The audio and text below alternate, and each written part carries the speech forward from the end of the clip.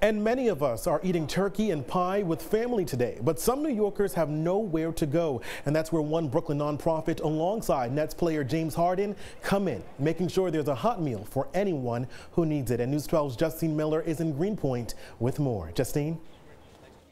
cranberry sauce, stuffing, and of course, turkey. The food is very good. It's excellent. All landing on plates for in need New Yorkers this Thanksgiving, like Bill Wood. I'm not staying anywhere right now, so for me, it's, it's a game changer.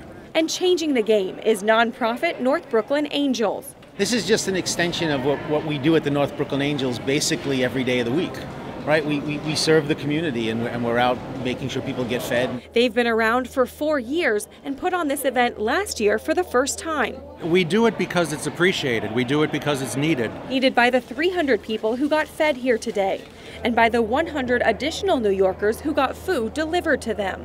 I, I, I got a good meal. I enjoyed it. In just two hours this morning here at the Brooklyn Expo Center, volunteers tell us they went through 80 turkeys, 400 pounds of sweet potatoes, and more pies than they could count. NBA Nets player James Harden even showed up, trading dunks for scoops of stuffing. I want to wish everyone a happy Thanksgiving.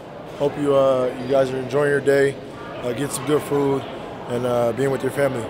Peace and respect. Love. Love that one man who got food here today says was palpable. Really surprised by uh, the generosity uh, of this organization, of the people uh, contributing their time. Close to 60 volunteers came together to lend a hand, yeah, like Gene um, Pasantes. You know, i have always been big when like with, when you're blessed, blessed forward.